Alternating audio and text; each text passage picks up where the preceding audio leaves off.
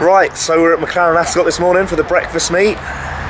Plenty of cars behind, 650Ss, there's a 570S down the back somewhere, uh, some 12Cs, and oh, R8 going past. Also have LT MSO P1 over there, trying to film the intro away from the giant crowd of people, and I'm with Supercar Channel 92. Michael, hello. Right. And we're going into London after, aren't we? Yep. For a day spot. It's probably going to be two separate videos because if I combine the uh, both of them, it's going to be really, really long. Yeah. And I, um, I can't be asked for that. so yeah, and caught a lot of good stuff leaving so far. Diablos. Uh, what else? A few drift and burn Ford GTs, Near C63, crashes. some near crashes, The yeah. GT3. GTRs, stuff like that. So yeah, it's been a good meet so far. And uh, waiting for everything else to leave to get some more good videos. And uh, yeah, then time for London. See you soon.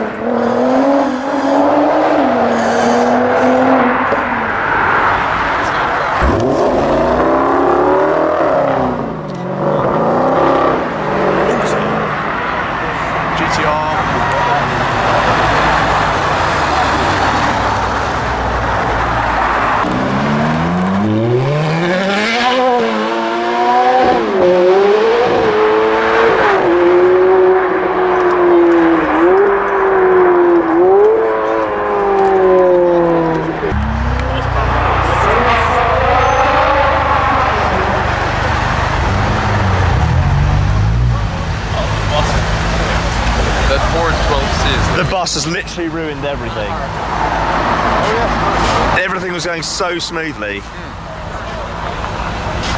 Oh, it's a coach, I think. I don't know. There's a Huracan actually down there.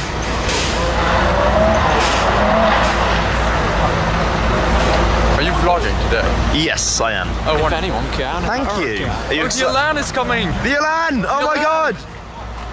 It's bright green! Most exciting car of the day. Uh, that's quite. And do you know what?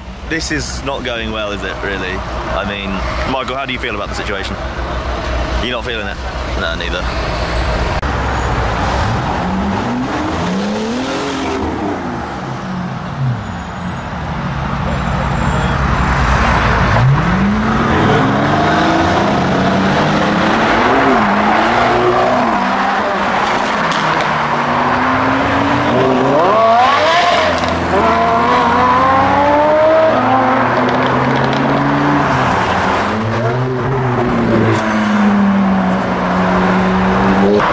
This is really nice. GT3s are just, I don't know, there's something about them. Alright, I'm buzzing. There is a red R8 coming, Michael. Well done.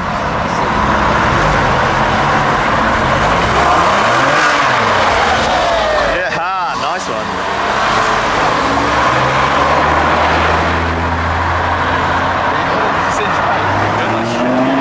He's on.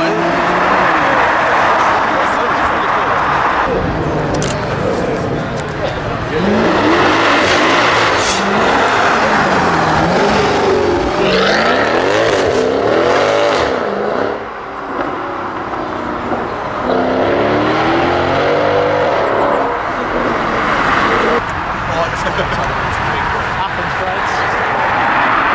Freddie's having some camera difficulties at a bad time.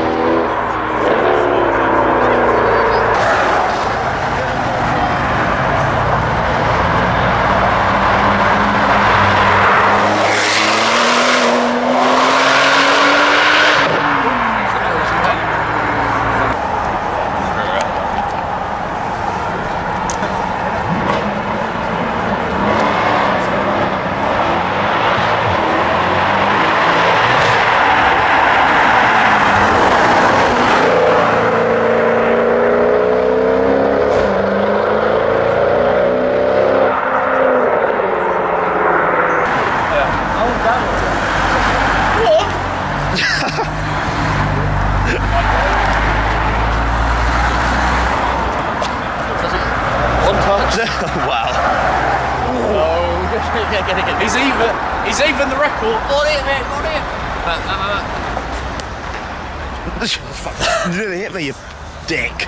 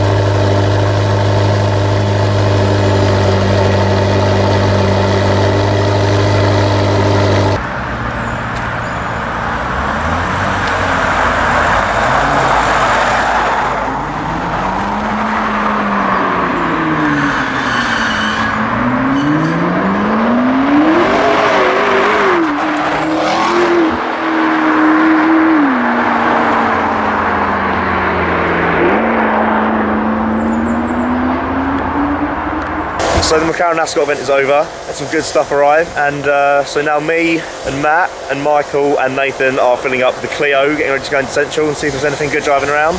And we will see you there.